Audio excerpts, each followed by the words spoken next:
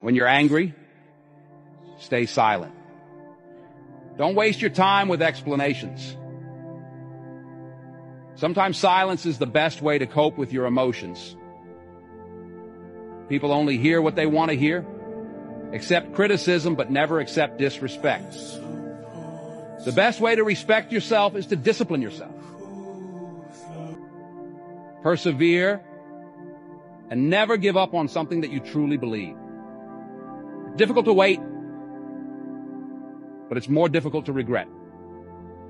Don't let success go to your head. Don't let failure go to your heart. If you are a giver, remember to know and learn your limits because the takers don't have any.